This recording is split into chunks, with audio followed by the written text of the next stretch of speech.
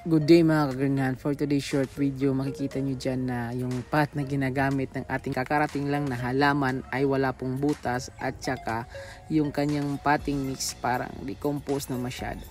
So yung gagawin natin mga kagrinhan, dahil nagkarutrat po yung halaman natin, um, puputulin na lang natin siguro yung mga uh, na-damage po ng mga ugat para naman uh, hindi po masira po yung mga active roots na nailabas na niya dyan sa ibabaw. So yung gagamitin na lang, yung gagawin na lang natin mga ka-greenhand, putulin na lang natin yung mga roots niya na nasa ilalim na affected po ng uh, root rot or infected na po siya ng mga fungus or bacterial infection. So lilinisin lang natin yan ng maigi mga ka-greenhand para naman ma-secure natin na hindi na siya uh, dadami at saka huhugasan na lang natin siya to make sure mga ka-greenhand na wala na pong uh, maaring mag-cause ng root rot.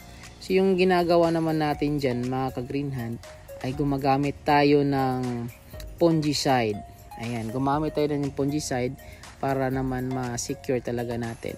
And para mas ma-effective, gumamit na lang tayo ng kandila. So yung kanyang wax, papatulo natin dyan sa uh, nilinis natin na part ng uh, root system ng ating halaman So ipapatak natin dyan para naman uh, hindi na po siya pamahayan ng mga bakterya. So yan na po mga ka-greenhand ay tapos na po tayo. Gumamit din tayo mga ka-greenhand ng pot na may maraming holes for good drainage.